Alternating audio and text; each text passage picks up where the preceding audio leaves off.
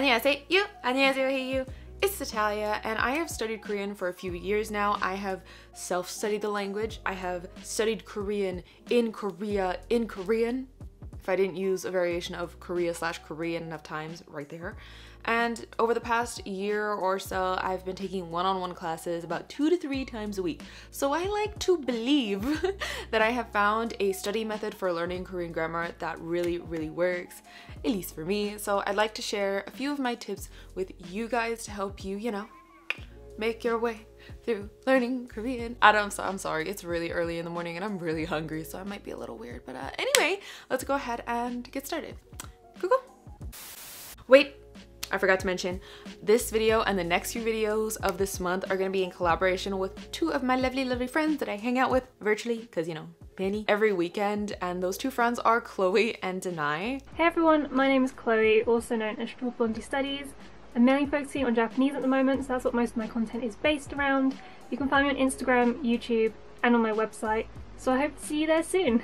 Hello, my name is Danai.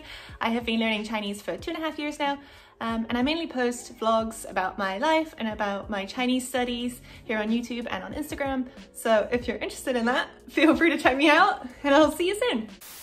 So my first tip is something I have mentioned on my channel before, and that's to stop taking so many notes or completely just stop taking notes completely. Like I know school has conditioned us to think that like taking notes means that you're actually studying or it means that you're doing like some quality study time, you know, that you're really learning if you're taking notes. But um that's not true.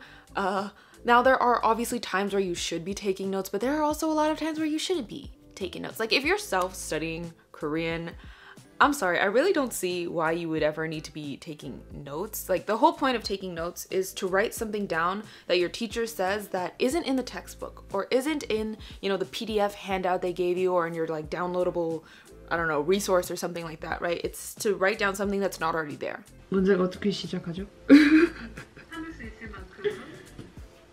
참을 수 있을 만큼? 오케이. 참을 수 있을 만큼. 네. 참았다가 왔다가 참았다가 But if you're self-studying, all like everything you're learning is already in that textbook or in that resource that you have. Like obviously, if you're supplementing your textbook or your main resource with like random videos on YouTube or random like blog posts about learning Korean, there's bound to be something that you want to write down. And when that happens, I just write it in my textbook. Like you guys have asked me multiple times like, "Hey Natalia, can you share your like grammar notes or your Korean notes?" And I'm like, I don't have any. Well, any recent ones. the last time I took Korean notes was when I was like in Korea in a classroom setting because that was different. Like our textbooks, this is the textbook we used when I was studying in Korea. And this has no explanation of like the grammar points, like literally none. It makes the assumption that your teacher's gonna explain everything, which he did because, you know, he was the author of this book and he was a really, really good teacher, but he didn't put any explanations in this book. So I have so many notes from that year where I was learning Korean in Korea and it made sense, you know, because I had to write down what he was saying because that's all I had. There's nothing in here. Okay, there's like one sentence in here that tells you what's up, and sometimes there was two, but like not enough to really learn Korean. I just ask, I politely ask that if you're taking notes to reconsider or reevaluate why you're taking notes and to determine if it's actually beneficial because you can move or you can improve so much faster if you take out that you have to copy your textbook down into your spiral element of your uh, study sessions. I'm just saying. And that brings me to tip number two. Number two. Use multiple resources to learn grammar. And unfortunately, that does not mean go buy all the Korean books you have access to, and it doesn't mean buy a membership to this website or like a subscription to this app or that app or something, which could be good or bad depending on if you were trying to spend money or not. In my case, I have found that it is extremely beneficial to read or listen to multiple explanations of the same grammar point.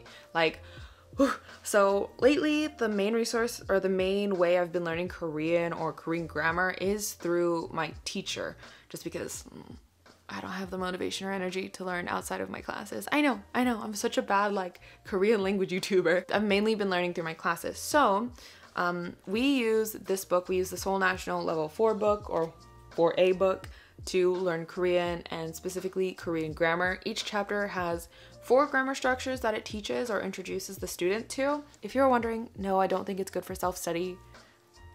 I don't think it's good for self study. We can get into that in a different video, but um, usually my teacher will introduce me to a grammar point and once she has, you know, explained it to me, we've done a little bit of practice. If it does not like click automatically with me, which I want to say about half of them don't click automatically with me. Then after the lesson, I will read the explanation that's in the back of the book because for some odd reason, this book, like when the grammar point is introduced in the chapter, there's no explanation. Like no explanation at all. Then it has example sentences. Like there's no explanation on what it means. There's no explanation on how to like use it or anything.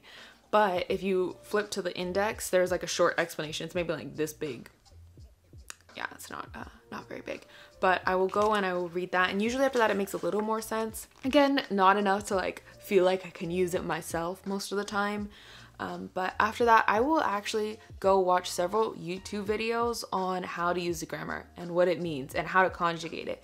Basically, like I will go from my teacher's explanation to the book's explanation to YouTube.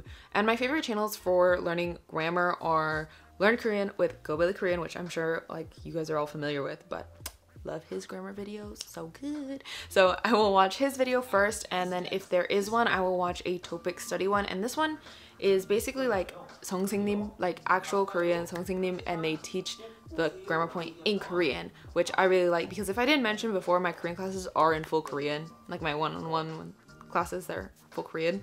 So I just prefer to learn in Korean. I don't know why, it makes me feel very accomplished. It makes me remember how far I have come when I'm able to learn the language in Korean, even though it makes it harder. But yeah, so I highly recommend that you guys try and do that. If you have a textbook that you're learning from, explanation doesn't make sense or like it's still like really fuzzy, I don't know why I did this, but if it's still fuzzy, like go ahead and find other explanations. If you can't find a video for that grammar structure, then go ahead and try looking up like blog posts online and things like that. Usually there are amazing resources for learning grammar online that are completely free. Like you guys ask me about how to study Korean.com a lot and I love that website. I love that website. Their grammar explanations are chef's kiss. They're so good. They're so thorough. They give so many example sentences. Like, guys, if you don't have a textbook, you can just learn grammar through their website. And honestly, I think they're a little better than Talk to Me in Korean because their explanations are way more thorough. They give you more example sentences and they even have vocab lists so that you can learn vocab and grammar at the same time. So now that you understand the grammar, it's time to like start using it yourself so that you can use it in actual conversation when the moment arises, when it's your time to shine. Okay, that was a little dramatic, but you know, so that when you are in the situation where you are conversing in Korean or you're writing something in Korean or whatever, you want to be actually like able to use it. Like, yes, it's nice to understand, but to use it and to understand, like, yes, that is the goal. Or at least it's the goal for most of us. So, how do you get there? That brings me to tip number three, and that is to use the grammar whenever you can. Now, because I take Korean lessons, my teacher really pushes me to start making my own sentences like immediately after she explains the grammar, which Seonsaengnim, that is so hard to do. And like she knows because anytime she tells me to do that, I go, okay. and she's asked me, she's like, you're my only student that does that why do you do that? And I'm like, because I'm stressed. Anyway, that is not what you came here for. But basically, just like anyone who is self studying Korean, I really need a lot of exposure and a lot of practice to really feel like I've mastered it and can use it in conversation or in writing if it's something that's used more in writing than in speaking. But yeah, you, you know what I mean. And I know a lot of people seem to think that like you need a native speaker like to practice the words you've learned or the phrases or the grammar or this or that. And I would like to take a moment to say that is completely untrue. You do not need a native speaker. And while I will admit, yes, it has been so helpful to have my teacher and to have my Korean friends that are there to like kind of help me along the way, you don't need a native speaker to like really get good at Korean. Like, I know so many people that have self studied and they're so good at Korean. Like, please stop putting yourself into this little box. You can do so many of these things by yourself. You can use the sentence in a short diary entry. You can say a like practice sentence while you're in the shower that you just made up on the fly. You can write a little sentence like practice sentence. And when I say practice sentence, I don't mean an example sentence. I mean a sentence that you came up with at the bottom of your notes when you're in another class and you're just not paying attention. Like, I know those things aren't what we envision when we think of like practicing grammar or something. Those are the things that add up. And again, yes, like if you have a teacher, it's amazing to get that immediate feedback for them to give you corrections and explain to you why the sentence you made is wrong. But if you don't have that opportunity to be taking classes, then even like having a Korean friend, while yes, they can tell you if your sentence is right or wrong, like they can't tell you why. And if you are super concerned with like knowing if your sentence that you made is right or wrong, you can go to apps like HiNative or HelloTalk and like post to the Moments tab. Like that's what I do. When I'm really, really concerned about if something is right or wrong, I'll just post it there and see what the natives say. And you know, there's like a little genie in a box and they give you like some help. Like obviously it's not a friendship. Most of the time it's not like a real friendship, but if you really really need those answers, you can get them there. And bonus tip, if you are a beginner and you're kind of like hesitant or you are struggling to make your own sentences as a lot of you guys have told me, don't be ashamed to just take the example sentence in your textbook or your resource and just switch out some of the words. Like don't be ashamed to do that. Like literally this textbook, this is an upper intermediate textbook, and they have that. That is an actual exercise. They have a dialogue and they have us switch out certain parts of it.